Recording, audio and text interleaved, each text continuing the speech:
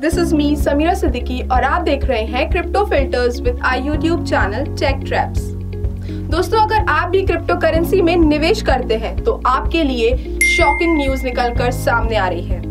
भारत सरकार crypto currency को लेकर सख्त नज़र आ रही है। भारत में सभी प्राइवेट क्रिप्टो करेंसी को बैन करने के लिए सरकार द्वारा पार्लियामेंट में एक बिल पेश करने की खबर के बाद क्रिप्टो मार्केट धाराशायी हो गया है।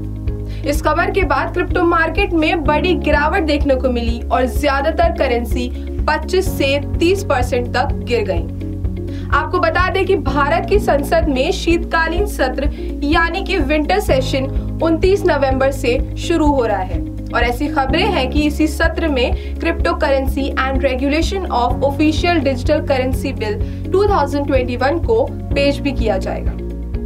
रिपोर्ट्स के मुताबिक इस बिल में सभी प्राइवेट क्रिप्टो करेंसी को बैन करने की बात कही गई है। सरकार का कहना है कि भारतीय रिज़र्व बैंक अपनी खुद की डिजिटल करेंसी लॉन्च करेगा।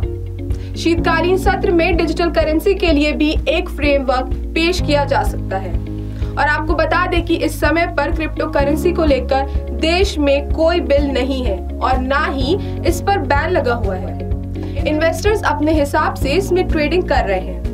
इससे पहले 18 नवंबर को सिडनी डायलॉग में अपनी भाषण में प्रधानमंत्री नरेंद्र मोदी ने सभी देशों से ये सुनिश्चित करने का आग्रह किया था कि क्रिप्टो करेंसी गलत हाथों में ना जाए, जिससे बड़ा नुकसान हो सकता है।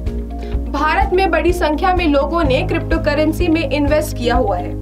एक रिपोर्ट के मुताबिक क्रिप्टो करेंसी ओनर के मामले में भारत दुनिया में सबसे आगे है। भारत में लगभग 10 करोड़ से ज़्यादा लोगों ने क्रिप्टो करेंसी में इन्वेस्ट किया हुआ है। ऐसे में भारत सरकार का कोई भी फैसला इन निवेशकों के लिए बड़ा होगा। इससे पहले चीन ने भी अपने देश में क्रिप्टो करेंसी को बैन करने का फैसला लिया था, जिसके बाद क्रिप्टो करेंसी मार्केट में बड़ी गिरावट देखने को मिली थी। क्रिप्टो करेंसी पर भारत सरकार का क्या फैसला होगा और इसे कैसे रेगुलेट किया जाएगा?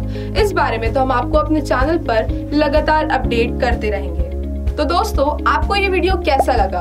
और अगर अभी भी आपके मन में कुछ सवाल है तो कमेंट बॉक्स में आप जाकर पूछ सकते हैं।